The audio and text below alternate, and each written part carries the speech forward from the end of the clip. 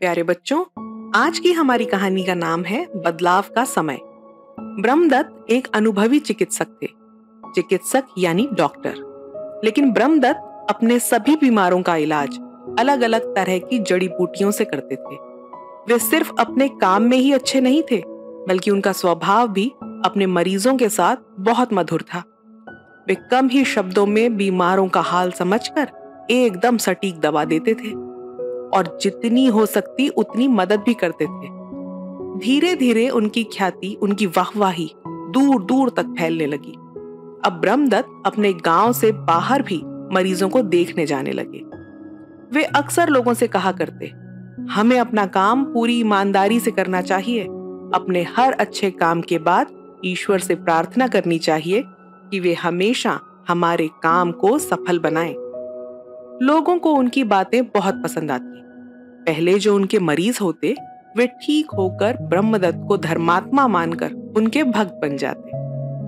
एक दिन ब्रह्मदत्त किसी मरीज़ को देखने दूसरे गाँव जा रहे थे।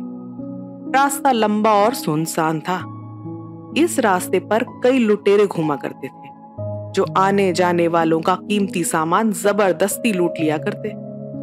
ऐसा ही एक लुटेरा एक पेड़ से उतरकर अचानक ब्रह्मदत्त के सामने आ गया। लुटेरे ने अपनी तरफ़ से ब्रह्मदत्त को डराने, धमकाने की बहुत कोशिश की, मगर ब्रह्मदत्त बिल्कुल भी विचलित नहीं हुए। पूरी तरह से शांत रहे।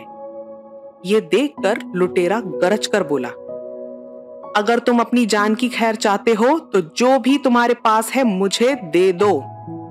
ब्रह्मदत्त ने कहा, जो मेरे पास है, वो मैं तुम्हें दे सकता हूँ। पर तुम लेना नहीं चाहोगे। ये जवाब सुनकर लुटेरा सोच में पड़ गया। मैं तो सब कुछ ले लेता हूँ, बल्कि छीन लेता हूँ। ऐसा क्या है जो मैं लेना ही नहीं चाहता? शायद ये आदमी समझ नहीं पा रहा है कि मैं क्या कह रहा हूँ। इसलिए इधर उधर की बातें कर रहा है। कोई नहीं, इसे दोबारा डराता हूँ। लुटेरे ने फिर कहा, आज तुम्हारे जीवन का आखिरी दिन है, समझे? ब्रह्मदत्त ने बिना घबराए कहा, मुझे इससे फ़र्क नहीं पड़ता। जो भी इस दुनिया में आया है, एक ना एक दिन तो उसे वापस जाना ही है। अब लुटेरा समझ नहीं पा रहा था कि क्या बोले। कहाँ तो लोग उसे देखते ही थर थर कांपने लगते और कहा ये बूढ़ा आदमी मज़े से मुझे जवाब पे जवाब दिए जा रहा है। तभी वहाँ कुछ लोगों का आना हुआ। उन्हें देखते ही लुटेरा एक पेड़ की आड़ में छिप गया और उनकी बातें सुनने लगा। सभी ने ब्रह्मदत्त को नमस्कार किया। फिर एक आदमी ने हाथ जोड़कर ब्रह्मदत्त से कहा, वैद्यराज, मेरे बेटे को एक महीने से बुखार है। बहुत कुछ किया, लेकिन कोई असर नहीं हो रहा। ब्रह्मदत्त ने उससे कहा, भाई, तुम चिंता मत करो। मेरे पास कुछ दवाएँ हैं। ये पाँच दिन तक अपने बेटे को देना। ईश्वर सब ठीक कर देंगे। इसके बाद एक लड़का आगे आया और ब्रह्मदत्त के पैरों में गिरकर कहने लगा आपने शायद मुझे पहचाना नहीं। मैं वही लड़का हूँ जिसकी तीन साल पहले आपने मदद की थी। अगर आप उस मुश्किल घड़ी में मेरा साथ ना देते तो ना जाने क्या होता। मैं आपका ये एहसान कभी नहीं भूलूँगा। इन लोगों के साथ एक बूढ़ी औरत भी थी, जिसके पास एक छोटा बच्चा था। बूढ़ी औरत ब्रह्मदत्त से कहने लगी, वैद्यराज, हमारे परिवार में अब सिर्फ़ ये छोटा बच्चा और मैं ही हूँ।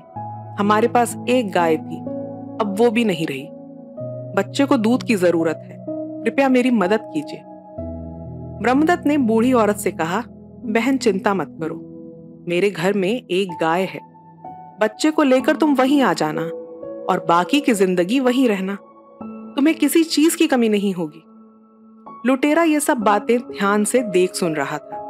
सब लोगों के जाते ही उसने ब्रह्मदत्त से कहा आप तो महान हैं। जिस वक्त आपकी अपनी जान खतरे में है, उस वक्त भी आप दूसरों की भलाई के बारे में सोच रहे हैं। और एक मैं हूँ, जो सिर्फ़ अपना जीवन चलाने के लिए दूसरों को डरा कर उनका सामान छीन लेता हूँ।